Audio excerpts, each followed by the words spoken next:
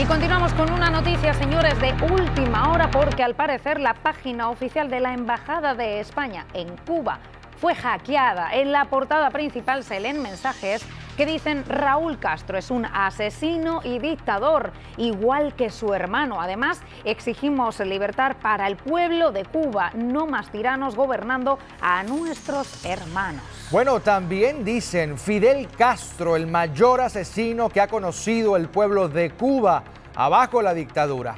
El grupo Anonymous Cuba oficial se tomó la autoría del hackeo. Según ellos, iniciaron esto por el apoyo de España al régimen de Cuba. Vamos, por supuesto, a continuar monitoreando esta situación.